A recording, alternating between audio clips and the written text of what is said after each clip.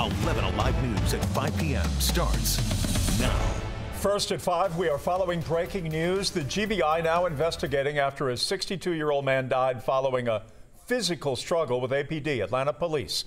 Good evening, everyone, on this Friday. I'm Jeff Hullinger. And I'm Jennifer Bellamy. We spoke with that man's family, and we're sharing those new details for you tonight. So let's get you straight out to 11 Alive's Brittany Kleinpeter live from Atlanta Police Headquarters. Brittany. That's right. I just got off the phone with Johnny Hollman's daughter. She tells me that she's been up for the last 24 hours, hasn't been able to sleep since this all happened last night. She sent me some pictures. I want to show you those. She tells me that her father was a deacon at Lively Stones of God Ministries and that he was a hard worker and a caring father. Now, Atlanta police tell me they were called out to a traffic accident off Cunningham Place around 11 p.m. last night.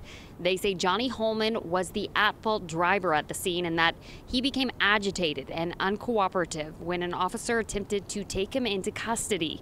We know that at some point a struggle began and a taser was used. Now, we don't know yet whether that taser actually struck Hollman, but APD tells me once Hollman was in handcuffs, an officer realized he was unresponsive. Police say he was taken to the hospital where he was pronounced dead. Now, right now, we do not know the cause of his death. The GBI says that they are waiting on an autopsy from the Fulton County Medical Examiner. And of course, we'll continue to follow this, keep you updated both on air and online. Guys. All right, Brittany, thank you so much. And to stay up to date with the latest information, download the 11 Alive News app. Just scan that QR code you see on your screen to download it for free. Well,